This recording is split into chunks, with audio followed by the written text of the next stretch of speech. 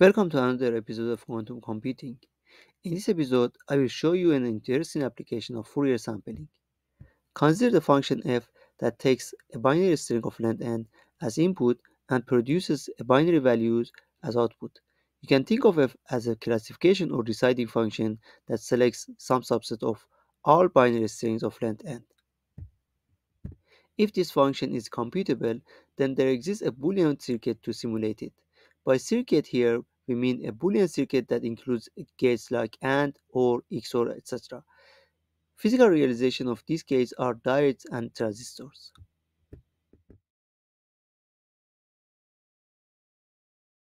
Now we want to convert this circuit into a quantum circuit where each gate is a unitary operator and the number of registers for the input and output are the same.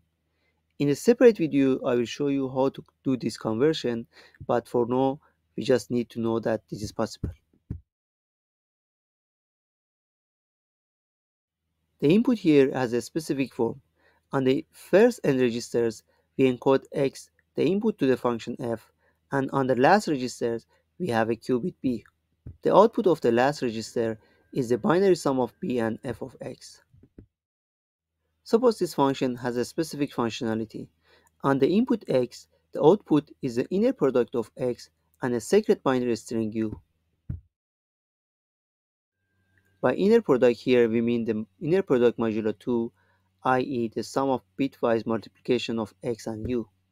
Here is an example of the inner product of two binary strings of length 4.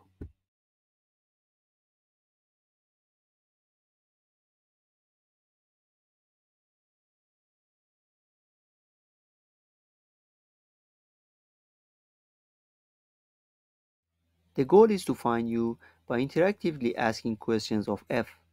How many queries do we need to call the function f or its circuit representation to find u?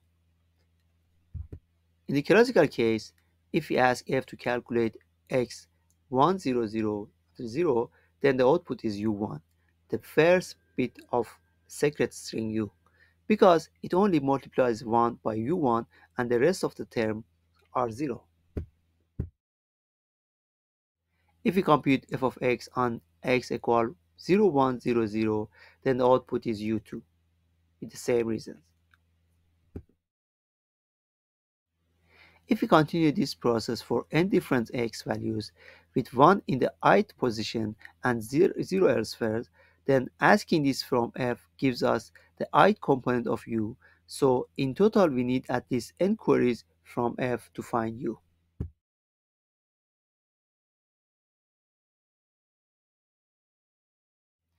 Now, how many queries do we need to make from the quantum gate representing f to find u? If we set b equal to ket minus, then if f of x is equal to 0, then the binary sum of f of x and b is equal to b or ket minus.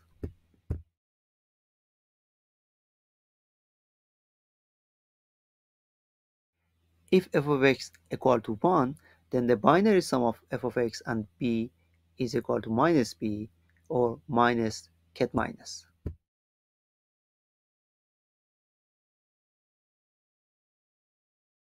So the phase factor is minus 1 to the power of f of x. The input of the first n register could be anything. For example, the superposition of all bit strings of length n. Since the circuit on the first register acts as the identity function, the output is the same. But the output is the tensor product of the output of all registers. So after rearrangement, the first part of the term is the Hadamard gate on U, and the second part is the ket minus, which is independent from the index.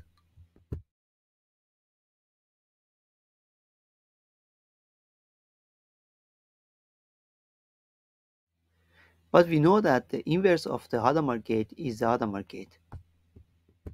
So if we apply the Hadamard gate on the first n qubits, we recover U. The only remaining part is preparing the superposition of all bit strings of length n, which is the easy part, applying the Hadamard gate on n qubit of the state 0.